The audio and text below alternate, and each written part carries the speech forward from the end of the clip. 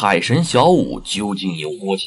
说起海神修罗神，大家肯定会想到唐三。其实小五啊也拥有海神神装和海神八翼，你敢相信吗？那么海神形态下的小五究竟有多强呢？能发挥出海神唐三的几成力量呢？相信看过斗罗原著的朋友们都知道，神界是不允许魂兽成神的。但是成为一级神之后，可以去神界带上自己的妻子和家人。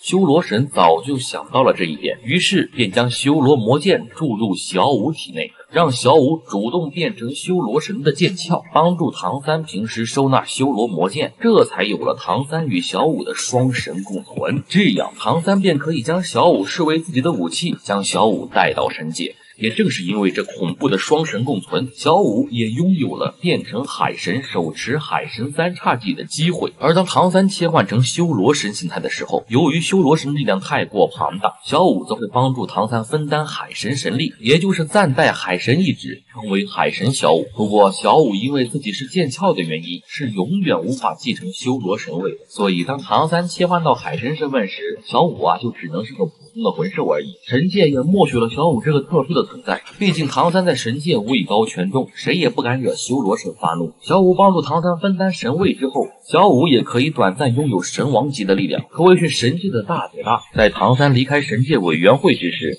小五就曾调用海神的力量，手持三叉戟，与三位一级神奇大战而不落下风。只可惜啊，海神小五在神界很少出手。基本都是唐三在处理事务，不知动漫能否将小五的海神神装做出来呢？好了，本期视频就到这儿了，喜欢斗罗大陆的朋友们可以点个赞支持一下，我们下期再见。